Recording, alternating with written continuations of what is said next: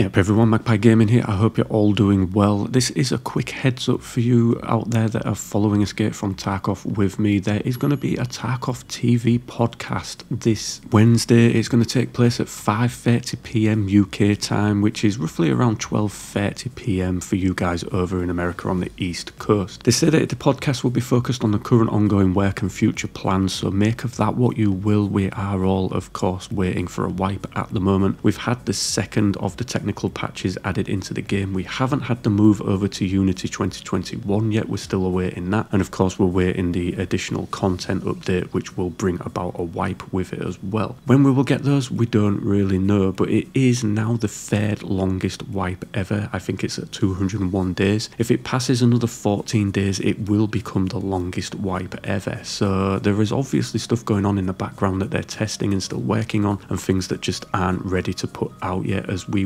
usually have had a wipe by now. But maybe we'll get some news in this podcast of when that is going to happen. It's funny that it's going to happen on a Wednesday and then we would predominantly wipe on a Thursday, Thursday being the day where we get the most wipes. So it could be during the podcast that they announce we're going to have a wipe tomorrow on Thursday. So, but maybe who knows? We'll have to wait and see. But yeah, just a heads up that there is a podcast this coming Wednesday. So if you want to tune in and listen to all the goodness that they talk about in that, then go ahead and do that. I will of course be watching and picking out the select juicy bits and putting a video together afterwards. So as always, ladies and gentlemen, thank you very much for watching and listening. Don't forget to like, share, and subscribe. Stay safe, and I will catch you in the next one. Take care.